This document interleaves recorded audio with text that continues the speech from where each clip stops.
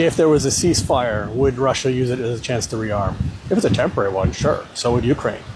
But if it's an actually negotiated peace settlement, then no. I think they'll stick to it. They'll get defensive weapons. Because this whole thing was they don't want NATO in Ukraine.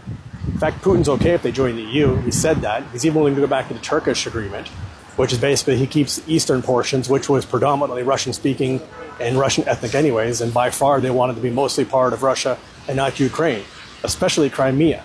That's the thing people don't look at. It was predominantly Russian speakers and ethnic Russians. And if you take a vote, whether the current vote was fair or not, if you took a vote before, they would certainly wanted to join Russia. That's pretty clear just by the numbers. The West doesn't show you that stuff. Now imagine if Mexico signed an agreement with Russia and allowed Russia to put military bases in Mexico. How long do you think it would be before the US invaded Mexico?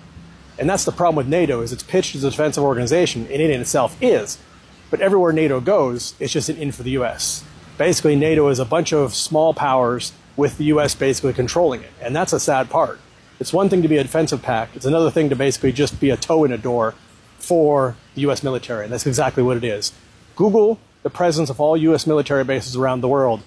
And uh, yeah, pretty uh, pretty disgusting that like the country of Iran decided to put its country right in the middle of all the U.S. military bases. How provocative is that?